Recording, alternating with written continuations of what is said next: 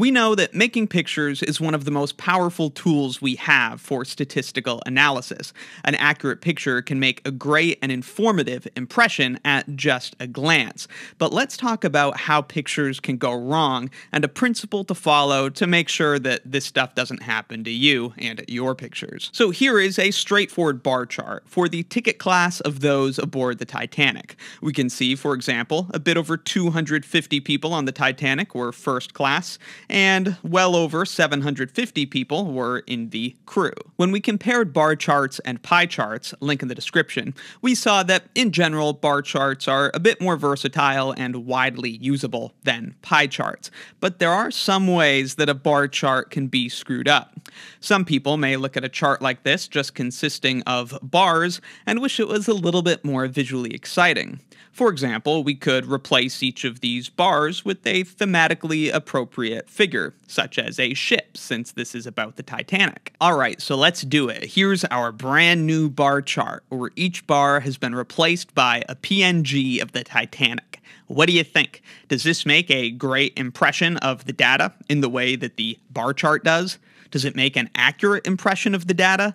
The answer is no. It makes a pretty big impression, but the impression is tremendously inaccurate. There's a pretty simple but dramatic problem with this chart. If we go up to our original bar chart, we can see that there are about three times as many crew members as there are second class passengers. And so naturally, the bar representing the crew members is three times as long as the bar representing second class passengers. Similarly, in this chart, the ship representing the crew members is three times as long as the ship representing second class passengers. You can see how the tips of the ships line up accurately with the counts as they did in the original bar chart. So the lengths of the ships are accurate. You can read accurate information from this chart but it makes a completely wrong impression because it's not the lengths of these ships that a viewer will notice most immediately, it is the area. This is a well known fact that it's area which will make the most immediate and powerful impression on a reader,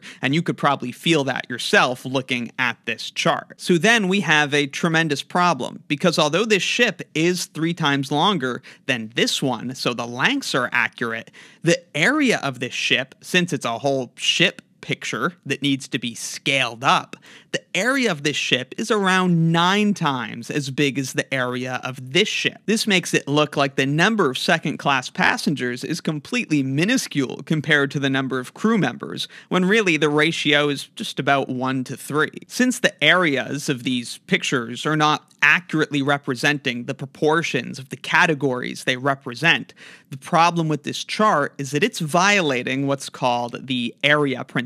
The area principle states that the area occupied by a part of a graph should correspond to the magnitude of the value it represents, meaning twice the area should imply twice the value and vice versa. Twice the value should imply twice the area. So you should resist temptation to replace the bars in a bar chart with some fun, thematically appropriate picture. If you just keep it with rectangles, this works out great and follows the area principle. In a bar chart, each bar will have the same width, and so the areas will correspond exactly as the heights do. Twice the height will represent twice the value, and that will accurately be reflected in twice the area. We see that up in our original bar chart. Again, all the widths of these bars are the same, so it's only the heights which will really impact the areas. And since the crew bar is three times longer than the second class bar, the area of the crew bar is three times that of the second class bar. This makes an accurate impression on the reader, and that makes it a good chart. So when you're making a bar chart, use the bars, the rectangles. That makes an accurate impression on the reader.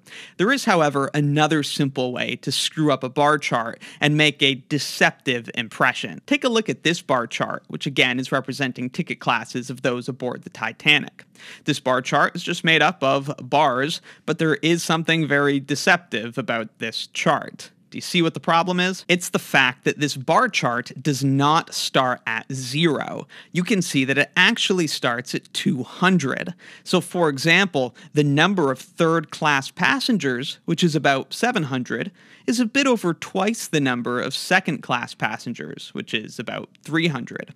However, the third class bar we see up here is nearly six times as tall as the second class bar because the vertical axis is not starting at zero. And of course, since it's six times taller, and these are rectangles, it has six times the area, again, leaving a completely incorrect impression on the reader. This mistake, or trick, of not starting the vertical axis at zero can be used to make very small differences look dramatic. Just like in this case, it made a medium difference between the number of third class and second class passengers look quite large. So that's another rule to follow. Bar charts should start at zero. If you start somewhere else, you're risking making an incorrect impression on the reader and accidentally being deceptive. Again, both of these charts, this one that doesn't start at zero and this one with the ships, you can read it carefully and accurately and get correct information from it.